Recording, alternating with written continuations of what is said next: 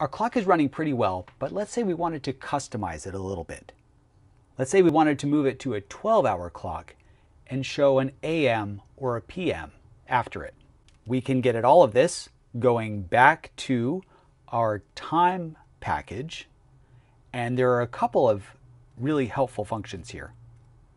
The first of these is local time. This is like pulling time but it makes sure that it converts it to the local time zone.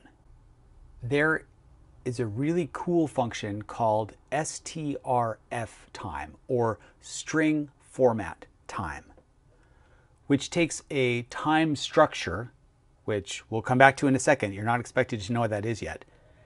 It takes a time structure and then based on some pattern that we provide, it spits out the results. So this is actually, it describes its own little tiny language for formatting time. And it gives all these different pieces that you can use, that you can pull out. We can pull out the hour of the 24 hour clock with a percent capital H, or the hour of a 12 hour clock with a percent capital I. We can get months, days, minutes, seconds, we can get the weekday either spelled out or as a number or as a three letter abbreviation. We can get the time zone. All of these little bits and pieces we can pull out. And here's an example of how they fit together. So this looks a whole lot like the C time function output that we were getting before. And this shows how to put it together. You can feed it a time. So in this case, GM time is how they get that. And then say, okay, here's a string, percent %a, comma, space, percent %d, space, percent %b, and we can go back up and see what these correspond to. So percent %a, the locale's abbreviated weekday name. So this will take into account where you are locally and also what your local language is and use all this to get the weekday name abbreviated.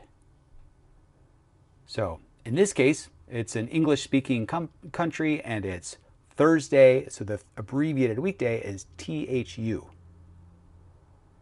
We can look at percent %d, which is the day of the month as a decimal number. And notice that it's formatted from 01 to 31. So it'll always be two digits. So that's super helpful. And we can see here how the time is formatted. So percent %h colon percent %m colon percent %s. We look those up. Percent %h is the 24 hour hour number. Percent %m is the minute as a two digit minute number. And percent %s is the second as a two digit decimal number. When you put it all together, you can see how each of these pieces of information being slotted into this string spliced together gives the full day of the week, day of the month, month, year, hour, minute, second, and then this plus 0000 is something that just it uh, is added explicitly here in this string. So very, very cool. So this is helpful. We can use this to get any format we want. And we can, by using a percent %i, percent %m, percent %s, and a percent %p, we can get AMPM, or whatever the equivalent is in the local location.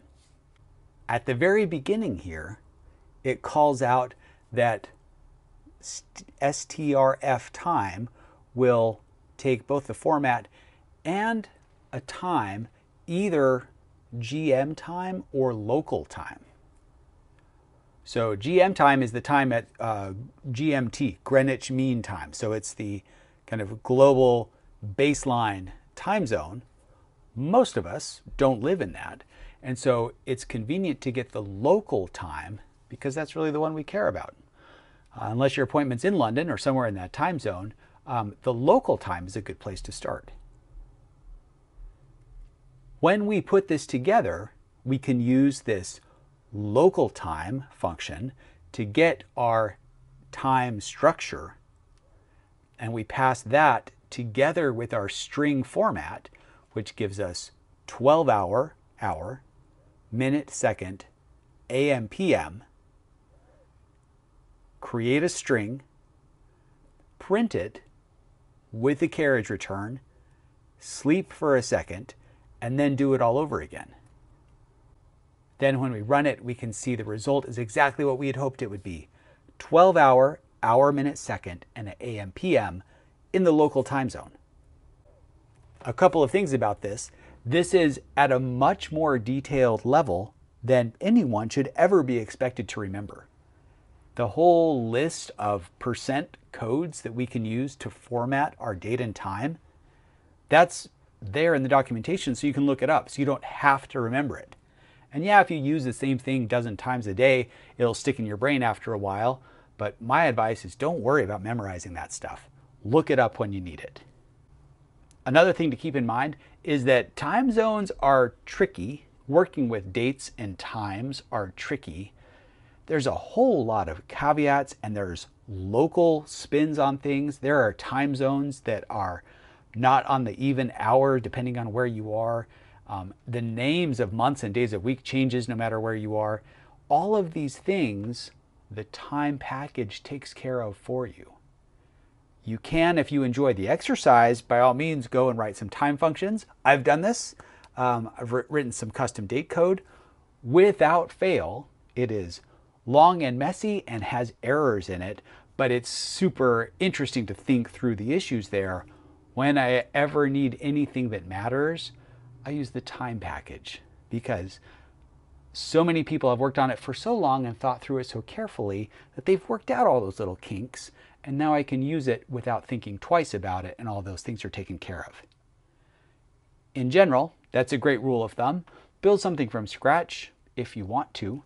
Um, often there is a tool or a package ready to go for you to import and use, and that's a fantastic way to expand your programming capability very quickly.